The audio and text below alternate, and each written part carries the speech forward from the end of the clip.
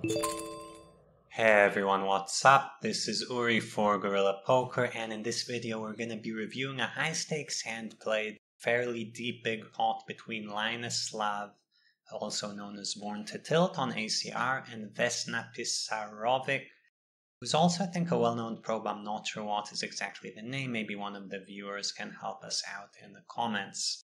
But yeah, 100 200 on ACR poker, and let's get into it. So preflop starts with a 2.5x raise, and Linus Love calls.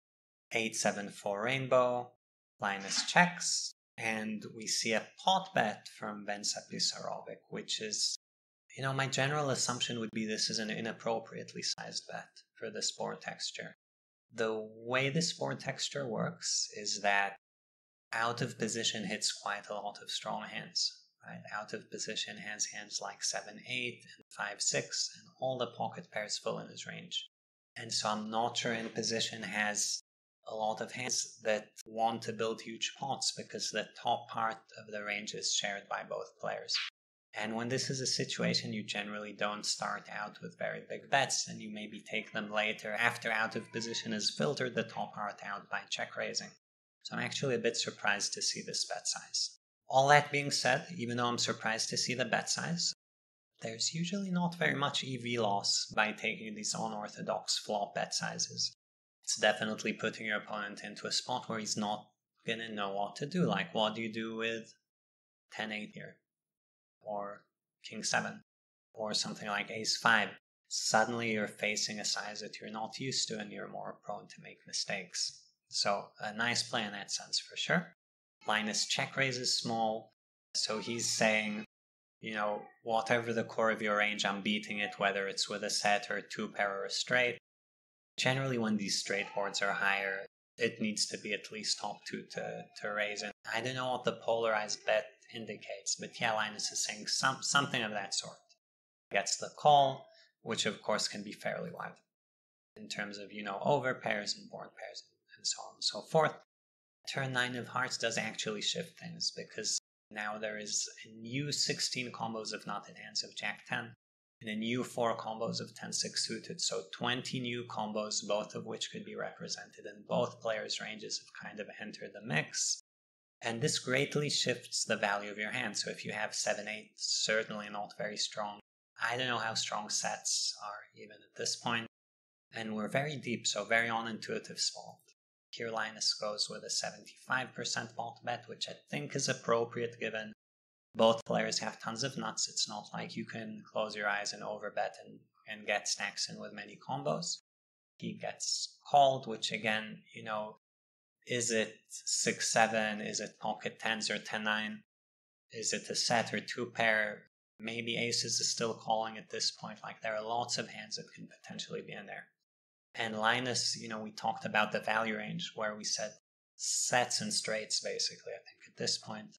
What about the bluffing range? The bluffing range is probably backdoor flush draw didn't turn, so anything with a 6 or a 10, whether it's king 10, 10, 5 suited, ace 5, ace 6, king 6, maybe a pair with a 6 like a 6 7 or a 4 6. River Queen of Spades actually changes absolutely nothing. Linus goes for a 75%ish pot size bet. In my eyes, I would guess the, the threshold for this is somewhere between 5, 6, and pocket 8s. I'm not sure, but just like I said, all the straights on the board make me feel fairly bad about putting in tons of money without a straight. I don't know if Linus has 5, 6 off, but so many straights, guys. Very, very unorthodox board in terms of how strong a set is in position shoves, so he should have, I guess, 10 6 plus, 10 6 suited or jack 10. Maybe he can shove 5 6 as well. Depends how, how Linus constructs his range. And Linus decides to make the call. This is, guys, a 72k pot, so almost 200 big blind pot. Linus shows down pocket fours, which in my eyes is too loose. I would guess this is a low frequency check raise. I wouldn't think it could net river this big, but I'm probably wrong. We'll, we'll see soon. And in position shows Jack 10 of hearts, so very naturally play Jack 10. And pocket fours, you know, feels like an overplay to me, but I'm probably wrong. And we will actually see soon because we have Pio solver to look through as backup. So not the exact range rake structure, but we'll get things going. And the way I'm going to do this, like I said, I don't think pot size is correct, but given it was used where we're going to put it in, we're going to put in that we are 180 big blinds deep. So we're going to have effective stacks at 35 500 and the starting pot is going to be 1100 as you build these trees you get to filter out some stuff to make things not run as super duper huge. Okay so check flop pot bind position like i said i don't think this is a correct size but fair enough. And in terms of Linus's strategy, he does get to check raise pocket fours and four seven eight four very low frequency. Seven eight gets in there and six five gets in there. And yeah, all sorts of bluffs like we were saying. We got the full rainbow nine of diamonds turn after the check raise. This is a turn on which, as you guys can see, Linus has to slow down a ton but let me quickly just make sure we have the correct sizings for the turn. Uh, because Linus went 75 here. So it's very, very, very interesting spot in terms of the turn. Basically one of the worst turns in the deck for Linus. The fact that in position has all these jack tens and pocket nines makes it so that you can rarely even continue betting so despite having the polar check raise range, you kind of have to slow down and you can bet fours, but not Linus's size. That's not a size that, that you have and, and you just slow down. You don't have nearly as much jack 10 as the other guy and you don't have nines and you're, you're just in a problem, in a world of hurt, so to speak. But yeah, Linus decides to bet. In position gets to fast play tons of jack 10 because it's his card. He has all the all the best hands. In this case, we see a call Queen of Spades River, and here, you know, not a node we're ever supposed to be in. But given we are here, his four is good enough to bet. Solver kind of says yes. When you look at EV's check and bet Linus's size are the same. So Linus kind of entered the wrong line, but the amount of money put in is okay if your opponent fast plays all these jack tens and pocket nines and ten sixes. Of course, if he doesn't, it becomes quite terrible. And yeah, once you bet and get raised, and like we said, PO has zero combos here, pocket fours can call. Now, it's kind of weird to look at a hand like this, where the line doesn't exist.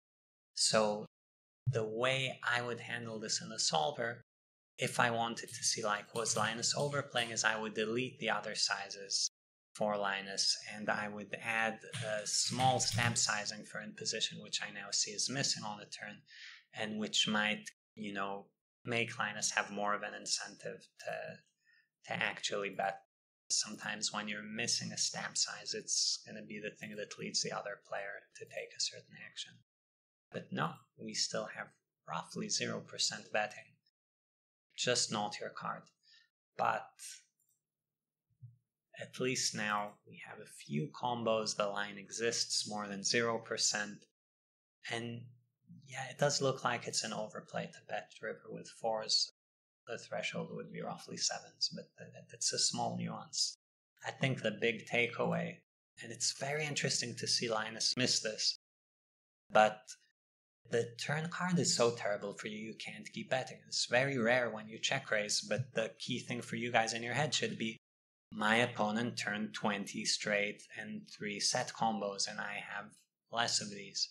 And so my entire check raise range and all of my nutted hands that I put in there are now not terribly strong anymore. So even though the hand was played well by Linus, I have a feeling maybe this is the first time I've caught him actually misunderstanding one of the spots that he's playing in terms of the ranges and the strategy. And this, I mean, we're, we're all human. You're 180 deep probably for 100 deep Linus got this correct, but as you get deeper, the fact that your hand isn't the nuts matters more and more and more. So yeah, that's it for this one. Hope you guys enjoyed the video. Let me know what you think in the comments. like and subscribe to the channel, and I'll see you next time.